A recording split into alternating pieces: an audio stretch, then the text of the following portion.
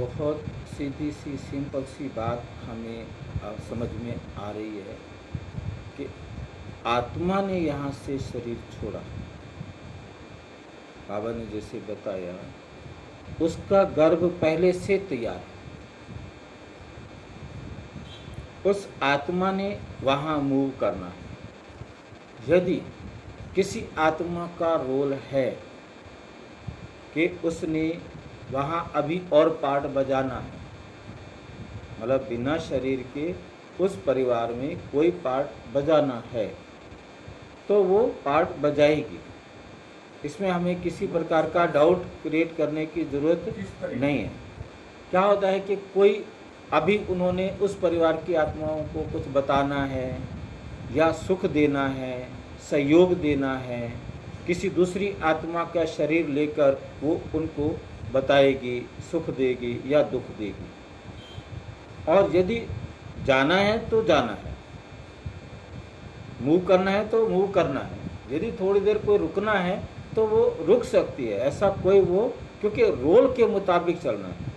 क्योंकि शरीर लेना भी रोल के अनुसार है, रुकना भी रोल के अनुसार है, बेड पर पड़े रहना भी रोल के अनुसार है।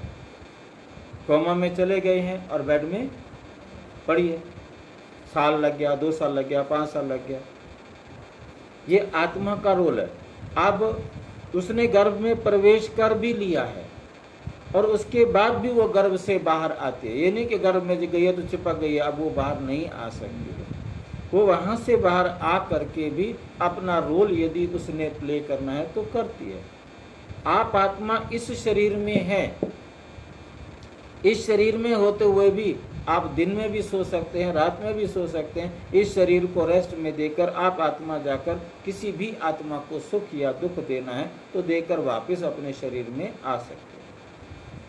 हर आत्मा को अपना रोल प्ले करना रोल में एक्यूरेसी रहती है रोल में कोई परिवर्तन या कमी नहीं आ सकती। चाहे वो मैं, अब मैं आत्मा ने किसी आत्मा को जाकर सुख देना है या दुख देना है, मैं सो गया।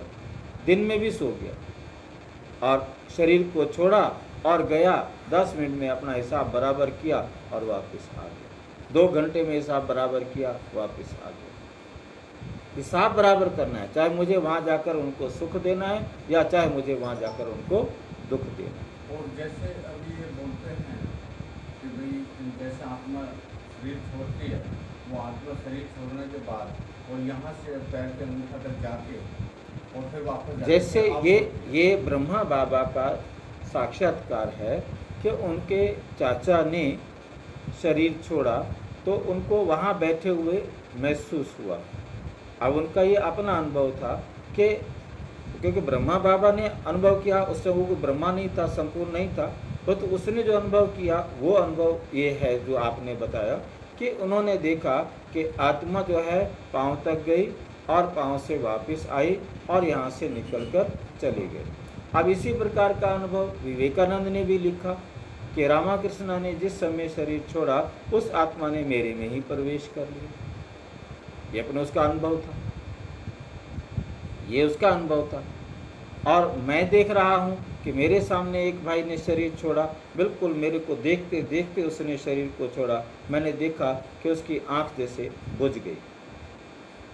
एकदम, जो चमक रही थी आँख, चमकती हुई आँख बुझ गई, जैसे फैड हो गई वो तो मतलब कहने का मतलब ये है कि आत्मा लाइट है, वो निकली है, वो अलग हुई है, जिसके कारण उसकी आँखें क्या हो गई हैं? फेड हो गई हैं, जो चमक रही थी। इसी वक्त मैंने छिपकली को देखा, मेरे सामने उसने शरीर छोड़ा, उसकी भी आँखें फेड हो गई। और सेम दोनों केस जो मैंने देखे। मतलब जो चमक थी आँख में, वो चमक नहीं रही। तो अब उसको उन्होंने लाइट के रूप में जाते हुए देखा। अब मेरा अनुभव मेरा है क्योंकि मैं सामने बैठा हूँ। उन्होंने अनुभव जो किया, उन्होंने लिख दिया। मैं उसको डिनाई भी क्यों करूँ? वो उनका अनुभव है। ठीक है? परंतु आत्मा का इस शरीर से निकलने के लिए, जैसे हम मोटे रूप से फिजिकली जानते हैं कि हमारे सबसे पहले पैर होते हैं।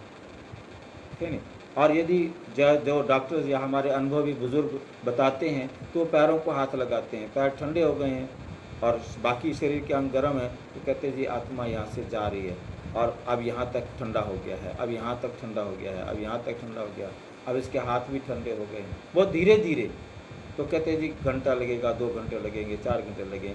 इस प्रकार के जो समझदार, सियाने बुज़ुर्ग होते थे, वो इस प्रकार से बताते रहते थे।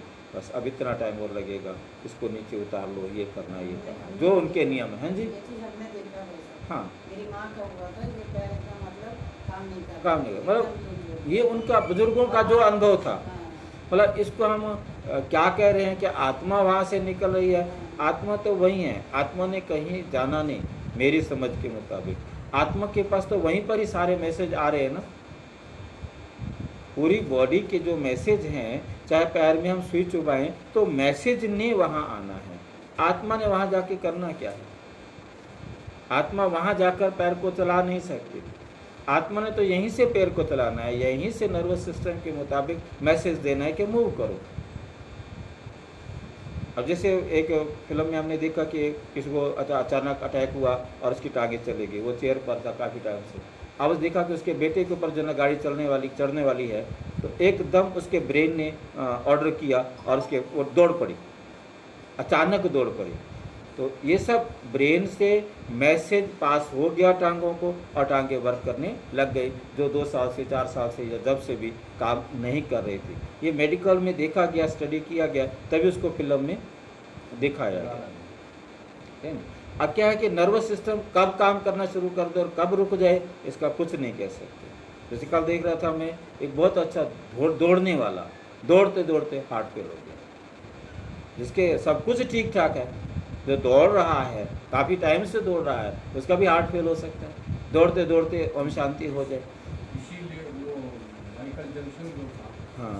उसका हर चीज़ डॉक्टर चेक करके उसको देता था और वो बोलता था कि मैं डेढ़ सौ साल जीना हम्म, देखा कैसे हर हर चीज़ को डॉक्टर चेक कर देता था माइकल जैक्सन की तो डेढ़ सौ साल जिया या मर गया? हाँ। अटैक पड़ गया। अटैक पड़ गया। मतलब कहने का यह है कि ये कोई वो नहीं है क्योंकि इसके पीछे जितना भी करेंगे मेन बात हमें आत्मा की समझनी थी आत्मा के बारे में बहुत क्लियर समझना है कि हर आत्मा को अपना अकाउंट बराबर करना ही करना है। चाहे वो इस शरीर के अंदर रहते हुए करे थोड़ी देर के लिए शरीर को छोड़कर जाए वापिस आ जाए चाहे इस शरीर को परमानेंट छोड़ करके फिर हिसाब बराबर करे चाहे परमानेंट छोड़कर दूसरा शरीर लेकर के गर्भ में होते हुए भी अपना अकाउंट बराबर करे। के कि का के है जाती है। परंतु यदि उसका रोल है तो वो रोल गर्भ से पहले भी बराबर कर सकती है गर्भ ले करके भी बराबर कर सकती है, क्योंकि गर्भ से बाहर आने में उसे कोई रुकावट नहीं है। आत्मा को कोई ऐसा नहीं है। आत्मा का रोल मेन रोल के आधार पर आत्मा ने चलना। शरीर का उससे कोई भी हिसाब नहीं।